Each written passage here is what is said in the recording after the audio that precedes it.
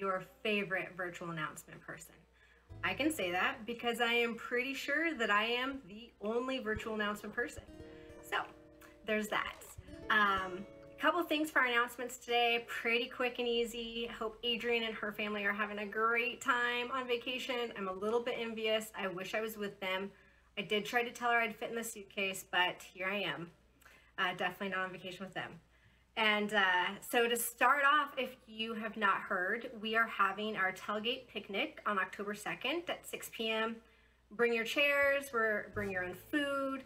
Uh, cars will be parked far enough apart for social distancing. It's gonna be a great time to just get together, chat, hang out, feel like a big happy family again. For those of you that don't know, Monday through Saturday, we have our morning prayer. This happens at 6.30 in the morning. Start off with a little bit of worship, come and, and pray with what's on your heart. If you have specific prayer needs and um, you can't make it, please feel free to submit your prayer request. We are so happy and, and honored to pray on your behalf. Um, recently, an email was also sent out about our church directory being available on our app. If you did not get that email, please reach out, email Annie Garcia at annag at rccfoursquare.org. Last, I just want to pray over us. I want to pray over us. I want to pray over our tithe, uh, each and every one of you. So if you wouldn't mind bowing your heads with me, that'd be great. Dear Heavenly Father, Lord, thank you for this church body. Thank you for PK and the way he's leading this church and, and um, for everything that he's doing uh, to not only connect with the community, but to connect with the members of, of this body, Lord. Um, I thank you for Marcy just running the, the children's service and ensuring that our kiddos are taken care of, especially during a time like this where it really, truly, honestly does take a village. Lord, I pray for all of those who have uh, committed to serving at the church, whether it's in person or whether it's virtually like what I'm doing, Lord. Every single one of us plays a part. And Lord, I pray over our tithe. Um, as we give today, whether it's online or in person, Lord, I just pray over that money. I pray over that giving, that offering. I pray that your will be done and that your works are spread throughout this land more than ever. I pray that we touch the lives that we need to touch and you open the doors that, that need to be open, Lord. And I thank you. I thank you for you taking even the smallest of give and creating something so great. And it's the name of our precious son we pray. Amen. I hope you all have an amazing rest of your weekend. I hope to see you there October 2nd. Um, even if you have to like have someone Zoom you in or FaceTime you, uh, it'd be great to have you there. All right, happy Sunday, guys. Why don't you join us in worship? Stand if you'd like. Walking around these walls. I thought by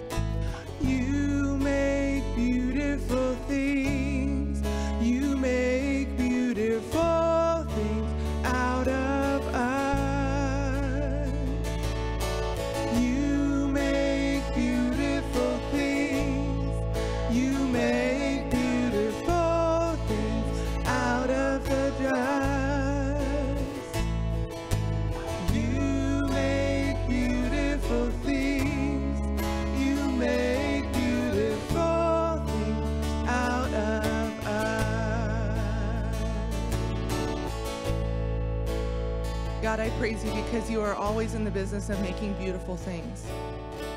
You take the dirty, the ugly, and the broken, and you make something new. And what you create is always beautiful.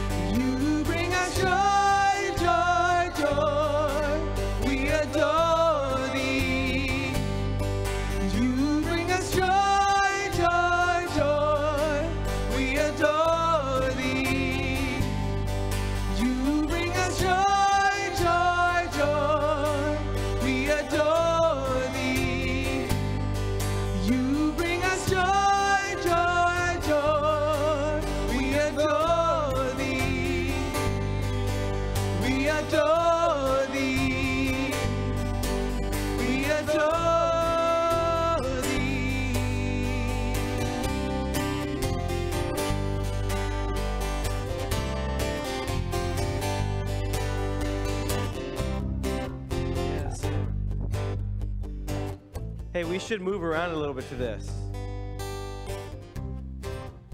I mean, doesn't this like, I mean, some of you are like, oh, I don't do this, but I'm gonna do it. But I mean, music should move us, right? So it's okay whether you're sitting down or you're doing what Pastor Pam's doing. She's like swinging her arms a little bit. Well, don't do that. Um, but no, it should move us, right? I mean, we're talking about the joy of the Lord. I just want to read this passage in, in Romans. Romans 15, 13 says, May the God of hope fill you with all joy and peace as you trust in him, so that you may overflow with hope by the power of the Holy Spirit. You guys hear that? He wants to overflow us. He's not just going to barely give you enough. He's not just going to barely just like fill you just part way, but he's going to overflow you with this hope, with this joy.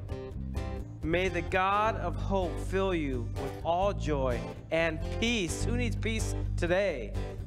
Yes? As we trust in Him. We don't trust in who's in office. We don't trust in doctors. We don't trust in our circumstances. We see things in those, those areas, but our trust is in Jesus. He's the one that will overflow us with the hope, with the power of the Holy Spirit. So, God, that is our prayer this morning. Lord, as we move in your presence this morning, as we move in your presence, we do adore you and we ask for that joy. If that's you, if that is your prayer this morning, I'm going to ask, would you like lift your hand or just acknowledge, like say, God, that's me. Yes, I want to be overflowing with peace, with hope, and with joy this morning. God, we adore you and we ask for these things in Jesus' name. You bring us joy, joy, joy.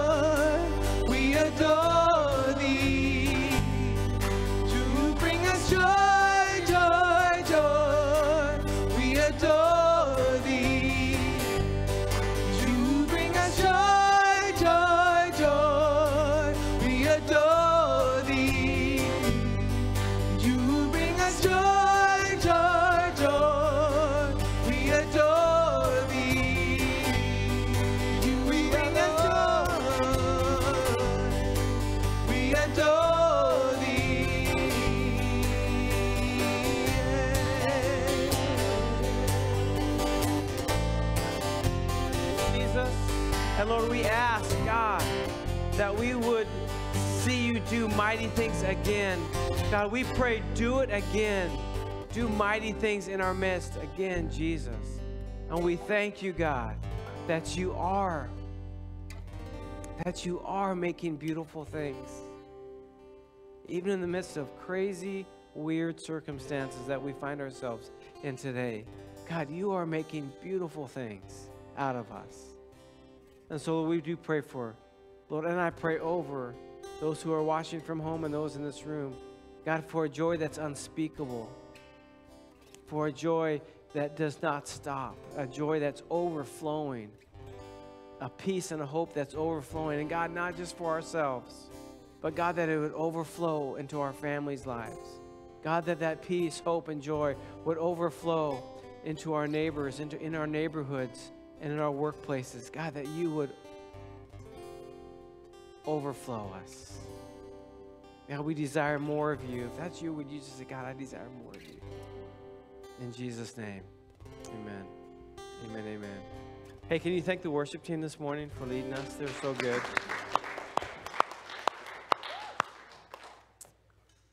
Wave at somebody before you sit down, or while, while you're sitting down, wave at somebody.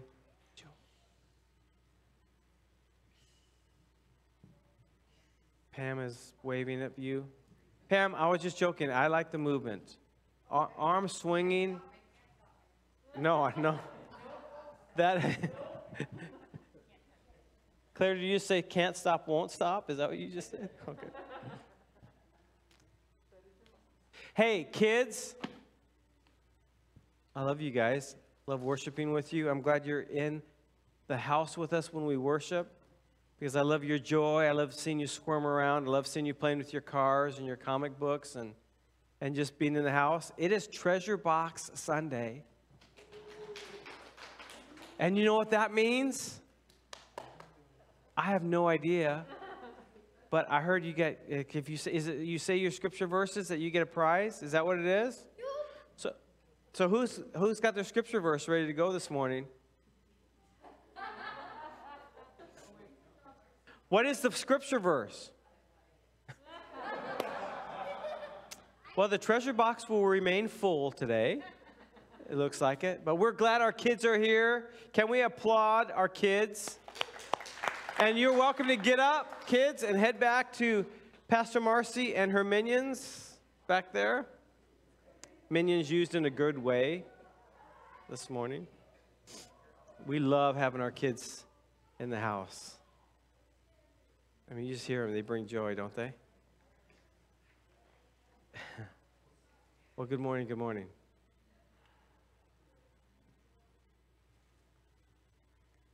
I was serious about like worship this morning with with movement. If you feel like you need to like move around a little bit during worship, that's okay. It's okay to move around and sway back and forth. As long as one foot's on the ground all the time, right? That's how I grew up. So, and then just when, in those quiet times of worship, I think it was Joanna this morning. Was that you that had that like heavenly little echo thing at one point? It was just very. It was like, wow, this is so good. Just to be able to even sing in the spirit like that is, is good. Well, hey, I'm excited to be with you this morning. We are starting a brand new series um, called We Are Foursquare. We Are Foursquare. And no, it's not that game. It's not that game that back in the day. Oh, nice toss. See anybody else can toss? See, look, Jewel, just give me a good toss there. That's good. Anybody over here want to toss? Uh, this is kind of reminding me back of the day of the uh, all right, you're out. That reminds me of the. Thank you, Ken. That reminds me of the dodgeball days. Did anybody play dodgeball? We used to call it sock'em or soak'em. well, because you know, soak'em back in the day was kind of like the uh, non-lethal Hunger Games. You know, you just kind of you just kind of went after the weak and like, okay, that person cannot move, and so I'm going to just chuck this ball and pelt him as hard as I can. Now, these are, the headshots were illegal, but not when I was in school. Yeah, back when I was in school, headshots were legal. So, I mean, we'd have this a ball like this, and this one is a little harder to throw. Like, I, I think I could throw it to Amanda. Amanda's like, don't do it. I can throw it to Pete. Pete, Pete you can catch, right? Pete can catch. Let's look at that. Now, can Pete throw? Oh, yes, he can. So we'd play a ball with this size. Now, the hard thing was sometimes there's a ball that was a little bit bigger, and there's no way you could palm it. So you just kind of had to throw it like that. And so you kind of felt a little safe. But the scary thing about, like, when I was in school, they had, they, so they had three different size balls. They had this size, a bigger one, and then they had one about that big. Those were mean balls because you could really grab onto it and you could really sail that ball and they did make great headshots because back in the day, headshots were legal. Not anymore. You know, we are Foursquare. It's not the Foursquare game that Wildfire has brought back. They actually will chalk lines out here and play Foursquare, that the game that was invented in the 1950s. I need somebody to hold this for me for the rest of the Sunday. Anybody? There you go. Nice job. So it wasn't that game. It's it's Foursquare. We are Foursquare. And I was talking with somebody recently, um, and saying they said, "Hey, you're finally done. You're finally done with the Book of Acts. 19 weeks, and what are you doing next?" I said, "Well, hey, we're going to do this series on We Are Foursquare. What and and what is Foursquare?" And so I kind of went through, you know, what the cross and what what the dove, and what the cup, and what the crown meant and they're like, oh, we've never heard that before. And they've been going here for like six years. So it's like, all right, well, we're going to talk about it. So we are Foursquare. We are part of something way bigger than just RCC. Uh, Foursquare is a denomination. Okay, well, I don't know what you feel about denominations, but I like denominations because it helps us together do something really big and global. Also keeps us safe, and we have partners that we can partner with. I don't believe that denominations should stop at the denomination line. I think we should serve Jesus together as churches. That's really big for me. And I know we, sometimes we believe different things and we interpret this a little bit differently, but let's just make it about Jesus and we'll be okay. And we just want people to see people get saved, touched, filled by Him, and so they can live for Him and their life and their eternity is to- totally different from now on. So, the name of our denomination for years and years and years was the International Church of the Foursquare Gospel. That's a long tagline. The International Church of the Foursquare Gospel. So, in, the re- in recent years, they've kind of they've changed it. to just the Foursquare Church. The Foursquare Church. And so that's what we are. We are part of the denomination.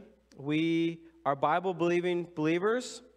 We worship God the Father through the Son, and we follow Jesus and, and his example that he set. And then we are filled and empowered by the Holy Spirit, which he promised us. For those of us that follow him, he says, I promise that I'm going to send a helper to you. Because we cannot live this life on our own. And so, and Jesus knew that, so he said, I'm going to send a helper to you and for you to help you live every single day for me. And that's the Holy Spirit. So we're going to talk over the next four weeks, not including today, about these four subjects Jesus as the cross, as Savior, Jesus, the dove, as baptizer with the Holy Spirit, the cup, Jesus, our healer, and then the crown is Jesus, our soon coming King. Now, I just want to let you know I'm kind of an open book, so I have no secrets.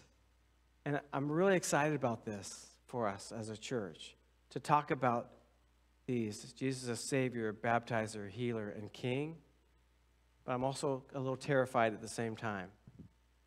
Because sometimes these are tough topics. First and last one, easy for me. We all need saved. We all need rescued. And Jesus came and died for, died for our, our sin. Easy. Jesus, King of Kings and Lord of Lords. No one like him. Easy.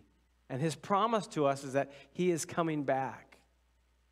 Now, we've been saying that for a long time, but he is coming back. I remember in the 70s, that's all we talked about that Jesus is coming back, Jesus is coming back.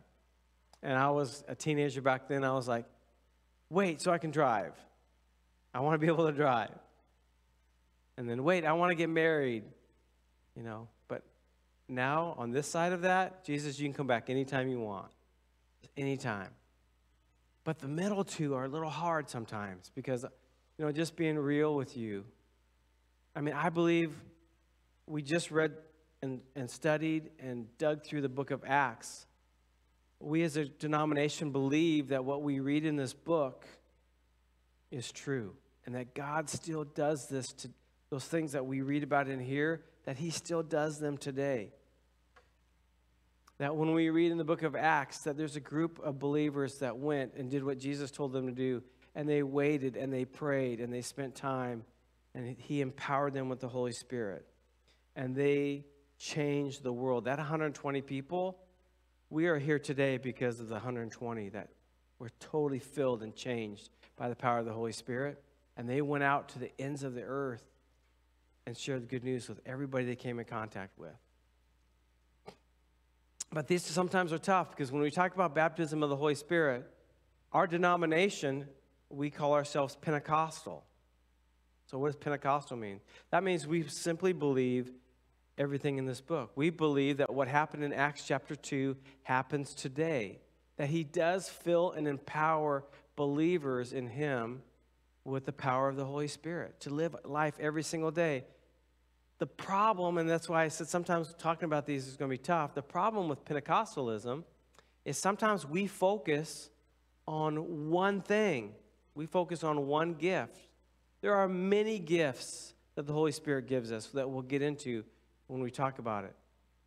That we have the gifts of the Spirit love, joy, peace, patience, kindness, goodness, gentleness, faithfulness, and self control. We have those things. He's given those things to us.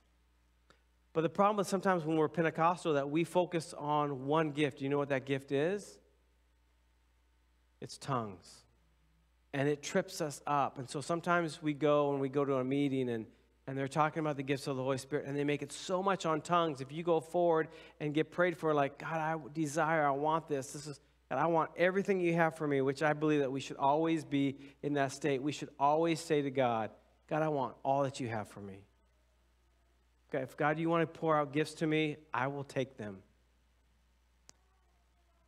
But what if that I don't get that gift? And so then you people in the past have gone away like even more damaged than when they came because they're like, God doesn't love me. He doesn't care for me. I went up for one gift. He didn't give it to me. and they don't realize that, man, you were poured into and God gave you all kinds of other gifts. You might just not have that one. But the Bible says that He gives as He determines, and He gives you what you need for the time you need it. I'm preaching two weeks ahead.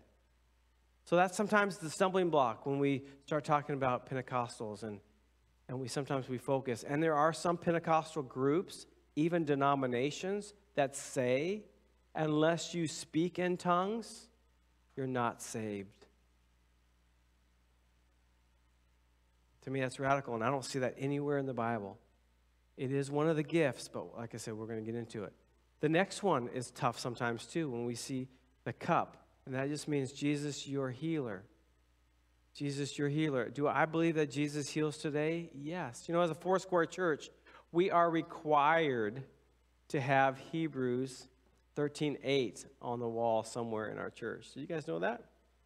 And so if you walk out these doors and then turn around and look up on the barnwood, we have this really pretty, you can barely read. I apologize if anybody did that in this room and made that, but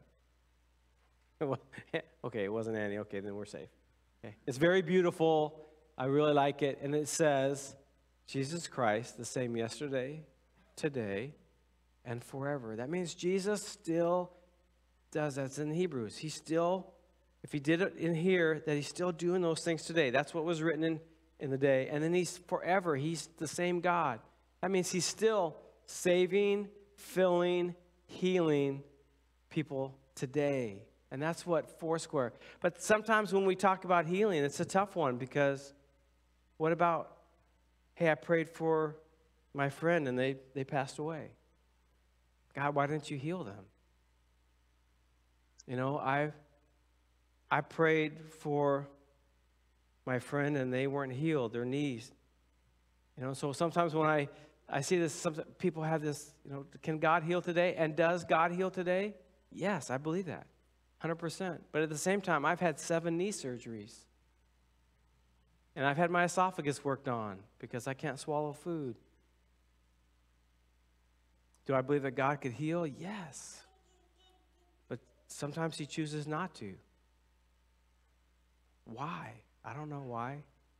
But I'll tell you from my personal experience, again, I'm preaching two weeks ahead. Actually, I won't even be there on this Sunday. Um, somebody else is sharing that Sunday. I guess I can preach a little bit about it.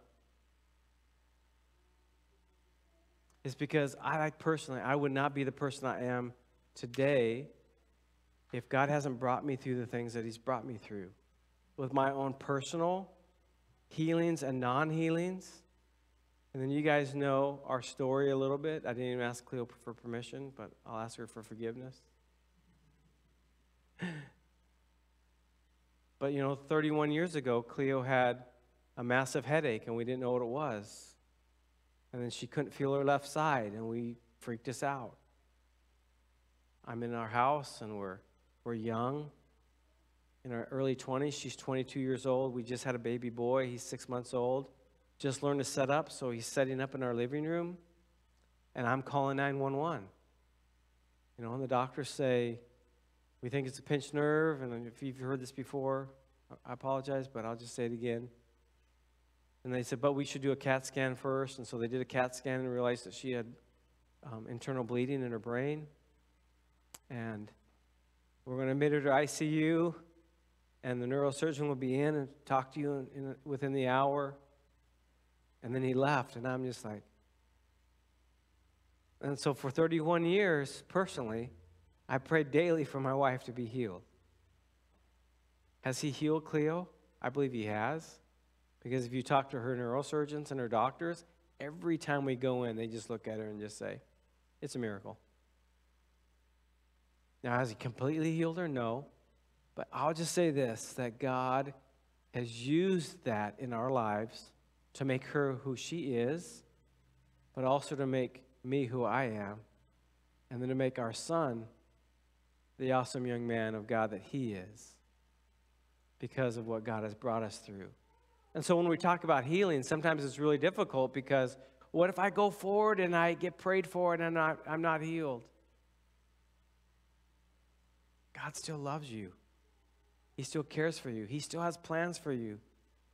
His plan is not to heal you right now in that moment, but His plan is to give you grace enough in that moment that you can handle it. And then you're going to need grace in that next moment, and you're going to need grace again in that next moment.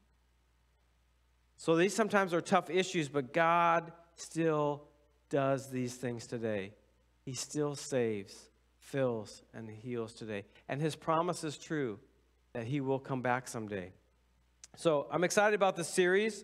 Um, it's going to be interesting to get into, but I'm excited about it. How did this all start? Where did Foursquare come from?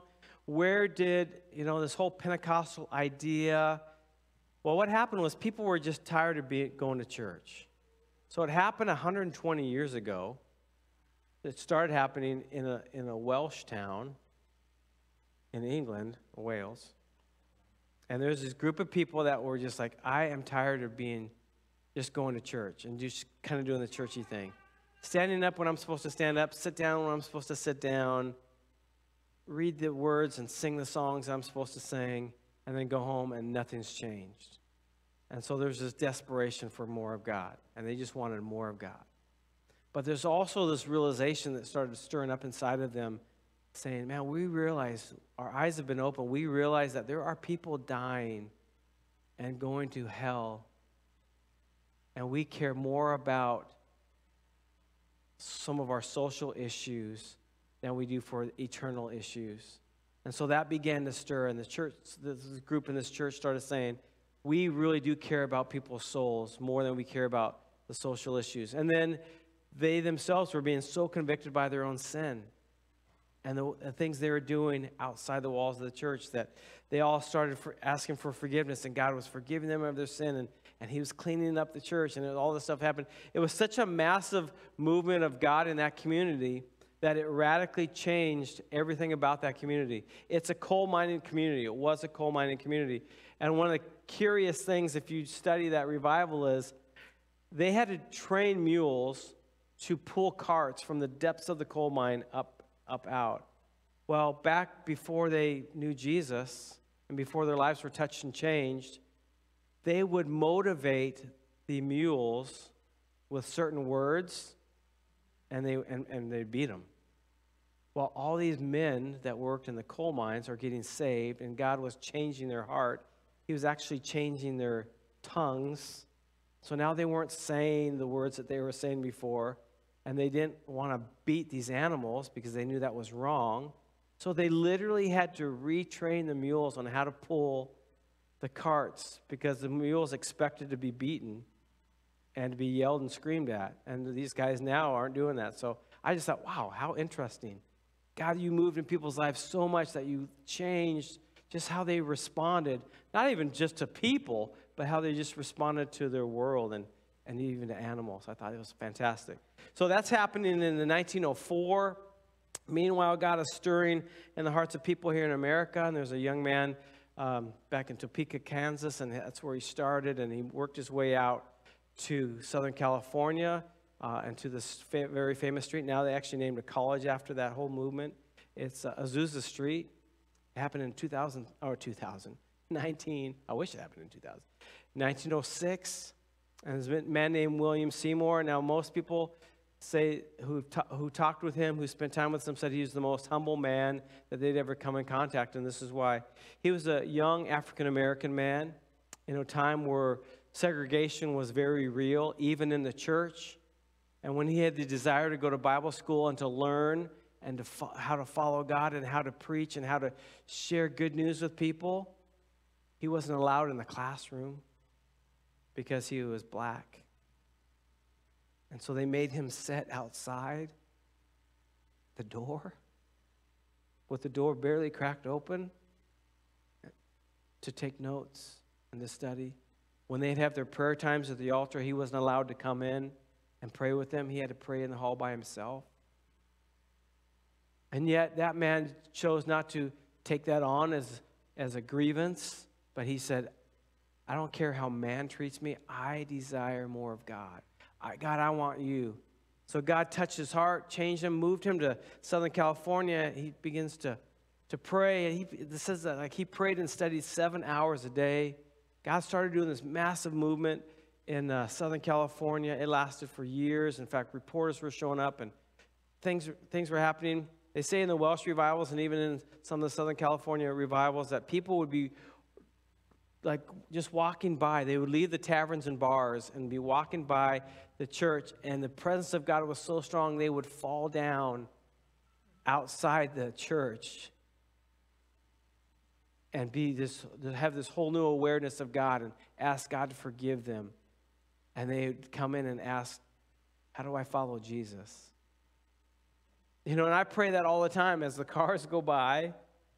I, if you pray with me very often, you'll hear me pray that prayer. God just as, as cars go by, as people walk by, we'll, I'll see multiple people, even in this hour, walking by the front of our church out there on the street. And I pray, God, would you touch their hearts? Would they feel your presence when they go by this property? Because this property has been dedicated to you. So that was all happening. Meanwhile, in Ontario, Canada, there's this young girl that was born and being raised, and her name was Aimee Semple McPherson. So the Foursquare Church was started by a woman named Aimee Semple McPherson. She was perfect. Tongue in cheek. If you've ever studied, anybody ever study the life of Aimee Semple McPherson? Like just read some stuff? She was not perfect. She was way out there. So born uh, to a in, a in a family where the when when the, her mom and dad got married, Check this out, girls. Dad was 50 and she was 15. I know, first service, I heard a few people say, gross. So they, they got married and had this little girl. She grows up, she's about 17 years old. She grew up in the church. Her dad was Methodist, her mom was Salvation Army. So she kind of grew up in that hole. So she was dedicated. But as a teenager, it was right when the whole Darwin thing started happening and evolution. And she was really drawn to it. And she was like, I think I want to follow science. She happened to stumble into this revival meeting with this, this guy with the last name of Semple was there. And he speaks. And she decides to follow the God of science and gives her life to Jesus. She's filled by, with the power of the Holy Spirit in that meeting, and a year later, they get married. So now in 2009, they move and, and move to Chicago, and they study under a man who actually was part of the Azusa Street mission. So that's how where Foursquare rolls in. Foursquare, she, Aimee has that foundation of the Azusa Street revival built into her, and they realize that the gospel is all of these things. They have a passion for mission, so her and her husband go to China.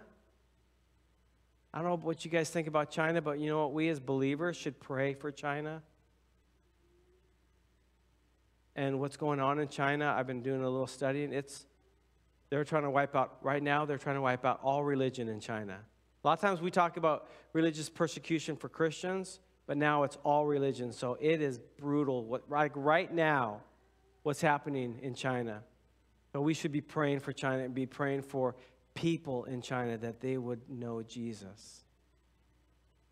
They go to China, they're there in, in, in 1910. He, she, she gets pregnant, has a baby, and then he dies from malaria.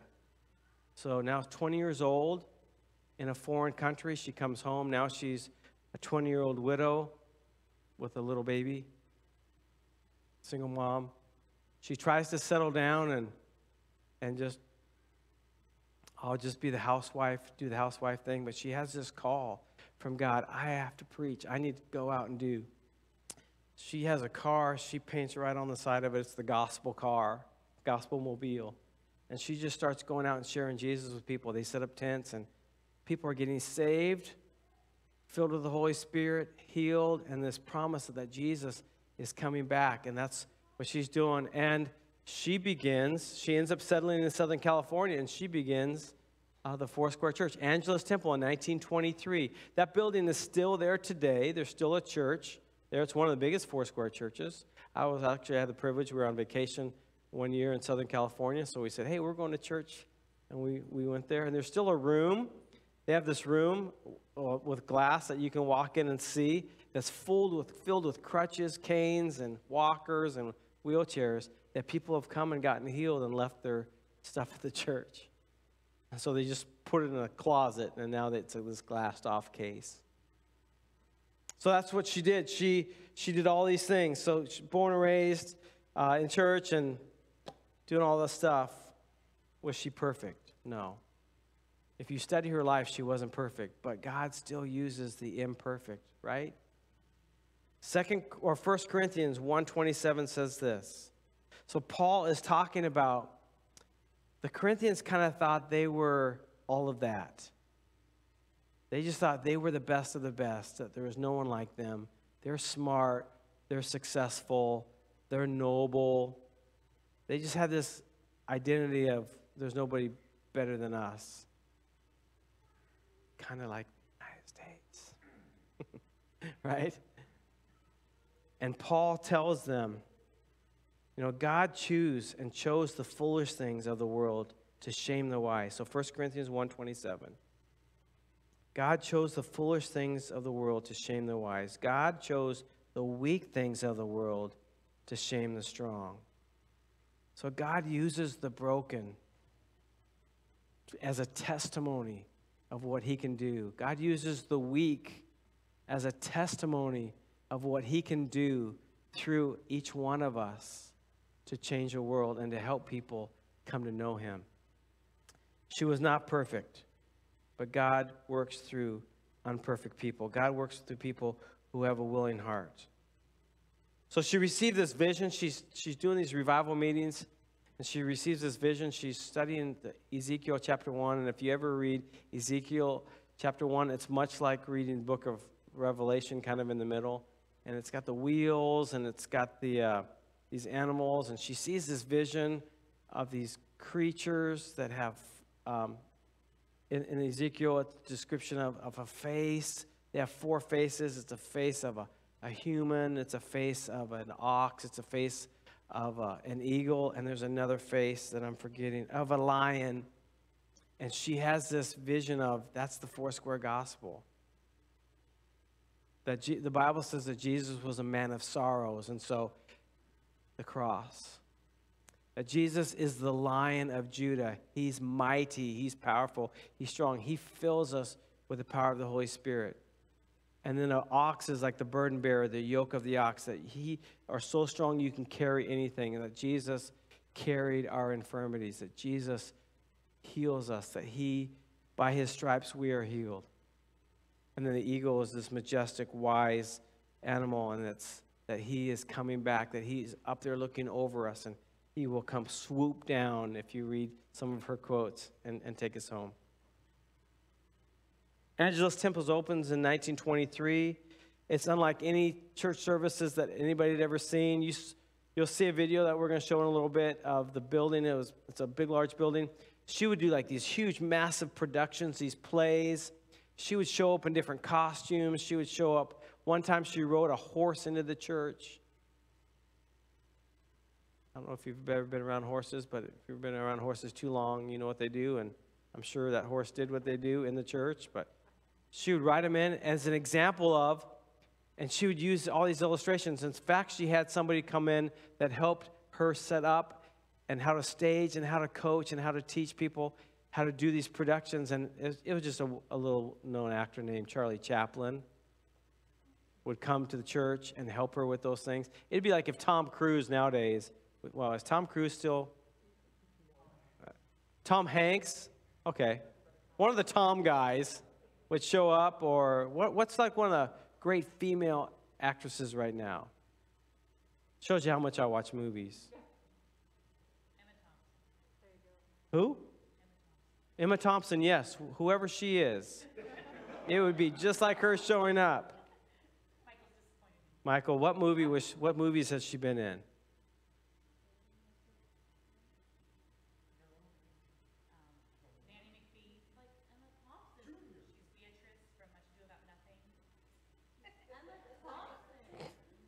Still in the dark. I think I know who you're talking about. About this tall. Okay, yeah. Anyways, it'd be like some like her showing up, right? Charlie Chaplin shows up and he's helping Aimee share the gospel. Now I don't know if he was saved, I don't know, but she was just being creative. It's like I want people. I care more about people's souls than what people think. She was not popular because you didn't go to church and do those type of things. She was a little gaudy as far as like what she would wear. These long flowing white robes. She would carry around roses all the time. And you know, from the outside looking in, it'd be easy to judge, like, man, you're just like so full of yourself. But the reason why she did it is I've been washed white as snow. That's why she would wear the white. And then I carry these roses because Jesus grew roses in the desert. Where it's impossible to grow anything, Jesus makes roses in the desert. And she would hand out roses to people. And that's why she did what she did. She was an amazing person. She wasn't perfect by any means at all, but she was an amazing person. The Foursquare Gospel are these, the, are these things here. And I think we have another slide. Jesus is our Savior. He's our baptizer with the Holy Spirit. He's our healer, and He's our soon coming King.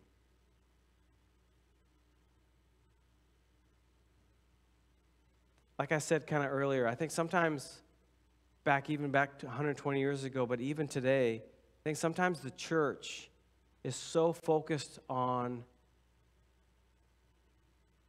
everything else but Jesus that we lose sight that there are people that people are dying and going to hell without him. And we're more concerned about what we think about this topic or what we think about this topic or who's in this position or who's in that position. And we forget that people are dying without him.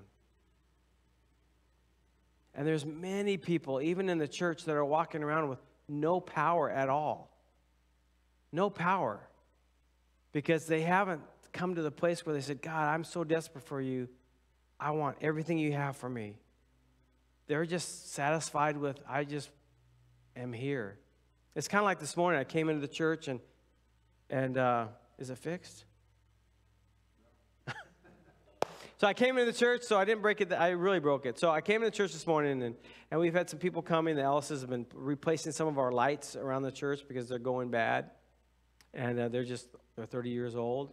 So if you're 30, I feel, you know, if you're older than 30 and you're not going bad. But our lights are going bad. The ballasts are going out, and it's right now, so we're just replacing them. So I came in this morning, and the two in the men's room have been replaced, and I flicked on the light, and one of them came on and one of them didn't. And that type of stuff, if you kind of know me, that, stuff, stuff bothers me. So I came in, I mean, we're talking early, early this morning. I came in, I'm studying, I kind of read through my notes and read, you know, and then I was like, that's really bothering me. I need to go fix that light. So I go in the bathroom and I get the ladder and I get it up there and I figure out how to pull it off. And it's on this little track and you switch it over and it drops down and it's got these two really cool um, wires hanging cables that hang, so it'll just hang there, and so you can like look at the wires, and the wires looked okay, but one was a hair long, so I thought, well, I'll just undo the wire nut. I'm on a ladder. It's six-ish this morning. I'm working over my head by myself, and I touch the wire on accident.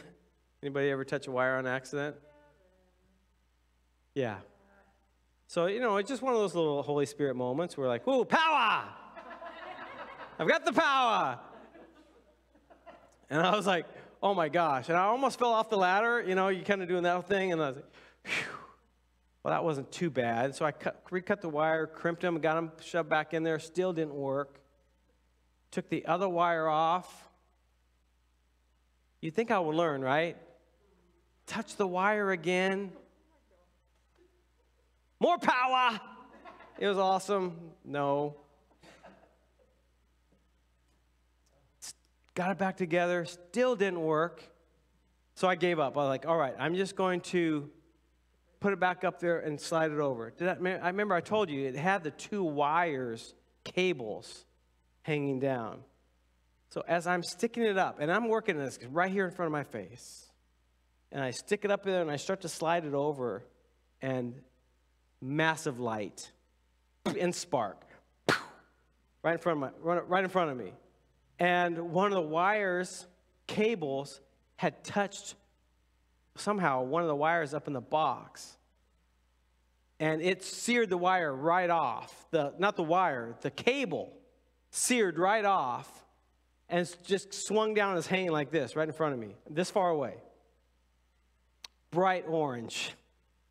I mean, as hot as it could be. And I was like, whoa, that was close. So then I had to go get some more tools and gently stick it all back together, and then Doug is going to fix it at some point. Okay. All right, so we have a broken light in the bathroom. So here's my point. As I'm looking at that this morning, and I'm thinking of the Foursquare Gospel, and I'm thinking about us as Christians who follow Jesus, there are many of us that follow him that are a lot like that light in the bathroom, that there's no power. That we're hanging there, we look okay when the switch is off, but when the switch is on, then nothing happens. And that's when we talk about the, living in the power of the Holy Spirit. It's not one gift. It is living every single moment filled, like that passage in Romans 15, 13 that says, Man, God wants to fill us with this joy that's overflowing and peace and hope. And He does that through the power of the Holy Spirit. And He gives us that so we can get up every single morning and walk with him and follow him. And as we get into in the next few weeks, we'll talk about what is the Holy Spirit's role in our life. It's incredible, and it is a, a powerful role. I don't. I personally don't want to just be hanging there with no power. I want to be plugged in and have all the power coming to me that is offered. And that's what we'll talk about. I'm excited about Foursquare because it is not just something that stayed locally in Southern California and like spread up the coast. The Foursquare Church is bigger in the world than it is in the United States. And you'll see, like, we're in over 150 countries. If you track all the way back to the beginning of early 1900s to the movement of, to the, of the revivals, over 600 million people have come to know Jesus through that. It's an incredible, incredible movement that God is doing. And so I love being part of something that's bigger than me, that's bigger than us, that's bigger than Renton, that we can actually partner with. Like, man, we are literally changing the world. We have a video that Foursquare has put together. It's inspirational because, again, it just talks about what God is doing all around our world, not just here. And what I love about what was happening in the revivals is it didn't, you know, like I told you about Pastor Seymour, he could have really easily slid back into segregation. And like, well, so when he started that church, but he says, no, the gospel doesn't talk about segregation. The gospel is for all. And so what was so amazing in the, in the revivals is that every color showed up at that, in, in, those, in that church it didn't matter what your economic status was. It didn't matter what your social status was. You could be Charlie Chaplin or you could be the homeless man on the street and you could come in and, and seek Jesus and be filled with him and be healed by him. And that's what was happening. Every color represented, every social and economic was they were there. And all were welcome to come in to the church. So let's watch this video together. In over 150 countries around the world, we are there. Sometimes publicly, in churches, large and small, gathering in houses of worship, schools, flats, and parks. Sometimes in the shadows, working in the darkest reaches of the globe to free captives, empower the helpless, and care for those the world's overlooked. We may not look the same, sound the same, even think the same, but we're one movement, one tribe, compelled by the love of Christ. We're instigators. Valdir Falcone, standing in the streets of his majority immigrant town with a simple sign, letting passersby know they are loved and welcome in greater Boston. Beth Ivester, engaging in the unique culture of her Portland neighborhood by creating Swap and Play, a place for families to bring their children and find support in community, beginning spiritual conversations through her local business. We're activists. Brenda Keene, spending her days in the dusty slums of Nairobi, Kenya, pulling women out of unthinkable situations, giving them jobs, dignity, and a new identity in Christ. Juan Muskis, overseeing a training center in Tijuana, Mexico, where former addicts, cartel members, and drug traffickers are trained as pastors before being sent home to their own communities, changing and saving lives in one of the most violent cities of his country. We're evangelists. Justin Matera, a Brooklyn born and raised graphic designer with a passion for his hometown, starting a church in the heart of his city to reach a generation so easily swallowed by the glamour and pressure of New York, opening doors for those that have long since left the faith.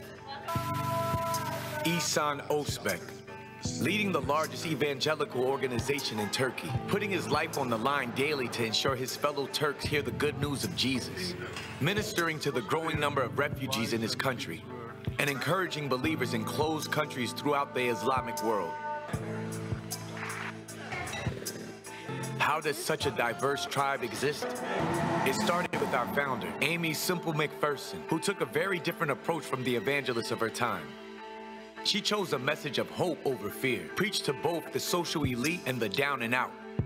She fought to destroy racial, gender, and socioeconomic barriers.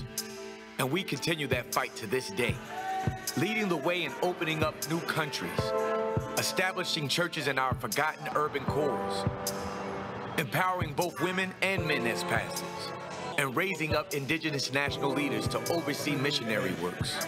Aimee utilized technology, media, and the arts to spread the gospel.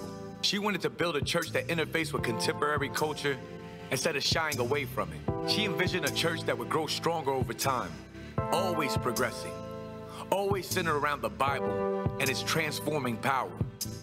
And that spirit remains alive today. We're a church for today's world, a church willing to take risk, to go places others won't, to embrace people others fear, to try things others haven't. This isn't just pastors and missionaries. This is the whole church taking the whole gospel to the whole world. And that means each of us, regardless of profession, talent, income, age, or gender. Each of us plays a role in spreading the message of Christ to our world. Because we are Foursquare. And this is church, reimagined. Yeah. Isn't that good? Some of you recognize people in that video. Yeah. Was that your friend from Kazakhstan? He's the national pres- president of Foursquare or leader.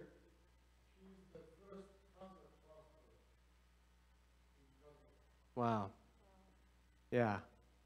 Amazing that we're part of something way bigger. And I just love that phrase that if you just caught it, it's the whole church taking the whole gospel to the whole world. Doesn't matter color, doesn't matter status Everyone needs Jesus. And it's that simple. Everyone needs Jesus. And so I really want to encourage us as we dive into this over the next four weeks, as we look at Jesus as Savior, that our eyes and our and our just thought process we would, it would change, that we wouldn't care so much about some of the stuff that we care about. And that we'd really start caring about the people that drive by our church the neighbor that lives right next door to you, the person that works right next to you or with you, that we would think of them as eternal souls that are lost and dying without Jesus. And then that we would do whatever it takes. Aimee, even though not perfect, she, she did everything she could for people to be saved. Now, did people show up just to see a show? Yeah. They would, you know, 5,000, three services, 5,000 people at each service. But people's lives were being touched and being changed. And so I want to encourage that some of you might be like that light in our bathroom, that you're hanging there, but you have no power. And my encouragement to you is that you would ask God, that you would desire, God, would you just work in me? Would you fill me up like we like we read? Fill me up with that peace, that hope, and that joy. And so I can follow you, that I would have compassion for people around me. That we would be like the early days of the revival, that we would can be convicted of our mistakes and our sin and the things that separate us, that, that cause our hearts to be callous and turned away from God, that we would be convicted of those things and then we would want to be filled and walk with Him on a every single moment basis.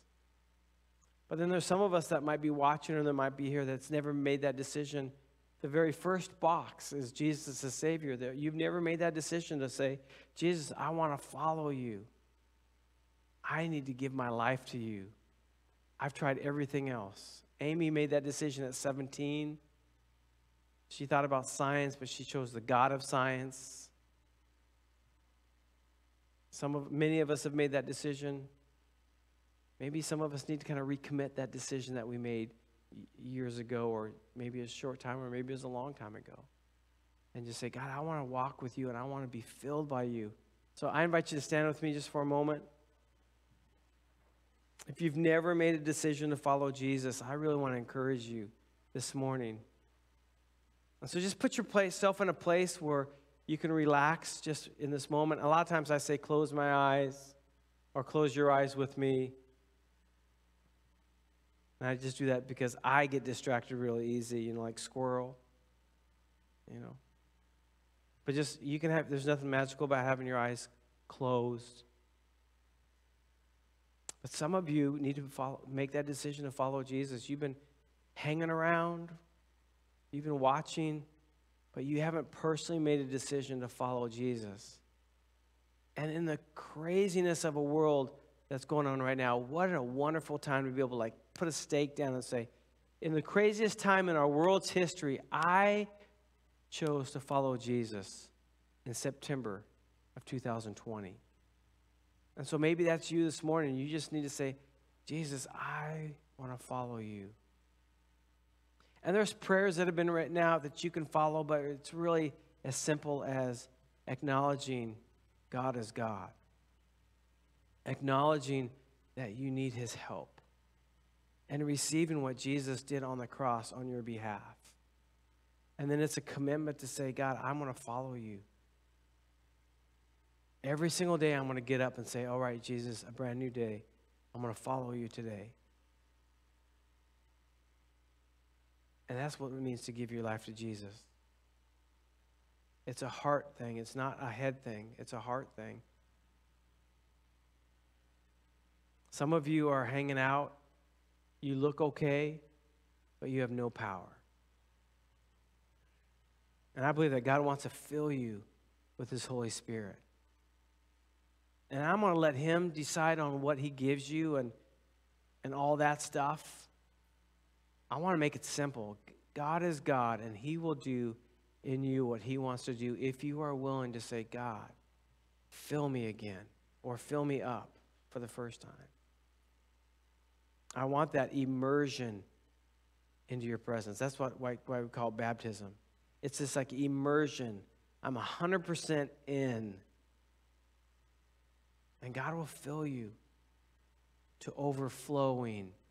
And so it's not just for you, but it's for those around you. And it, it like will literally like bubble out of you, and people will want to know why are you joyful right now? You'll be in situations and God will give you the perfect words to say to the person that's sharing with you. And you're like, whoa, where did that come from? It came from the power of the Holy Spirit speaking through you because you are willing. And that's just a simple prayer to say, God, I just want more of you. Would you fill me up? I'm tired of hanging around. I'm tired of being that light that doesn't work on the ceiling. Jesus, our prayer this morning is that you would do what you do. And Lord, I pray for those who are, are thinking about or have made the decision to follow you, Lord, that you would fill them up as well. At the same time, just this total immersion of, yes, I surrender, but yes, I am filled with everything that God has for me. And Lord, I pray that you would surround them with those who are who are following you, that are moving towards you, and that they would be, again, they would just be empowered. And Lord, I pray for those who need to be filled with the power of the Holy Spirit, who have said yes to you, but kind of kept their feet in both places. Yes, I'm yes, I'm a Christian, but I like all my other stuff too. But God, that there would just be an immersion, that there would be a filling, that there would be this passion just for more of you, that there would be this desperation for more of you in our lives. And so, Jesus, some of us pray that prayer this morning a desperation for more of you. Lord, my personal prayer is that, Lord, that you would work in the lives of all that are watching and all that are in this room, including me. And that you'd be stirring in us, that you'd be changing how we think, that you'd be changing the motivations of why we do what we do, even.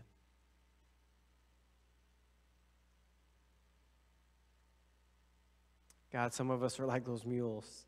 We're pretty stubborn. So, Lord, I pray that you'd retrain us, that you'd retrain us, that we'd surrender to you, and that you'd work in us to do, to do the things that you've called us to do. In Jesus' name, amen.